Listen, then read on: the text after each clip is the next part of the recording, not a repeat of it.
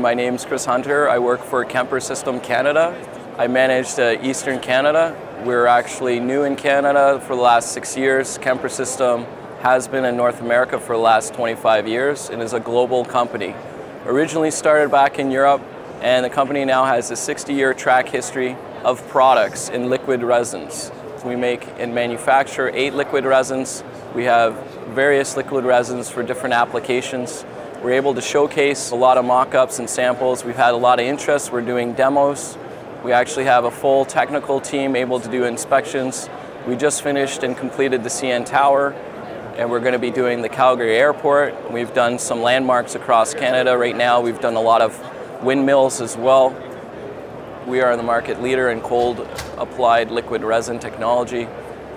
We've been doing this for over 60 years and it's gaining acceptance every year, year after year.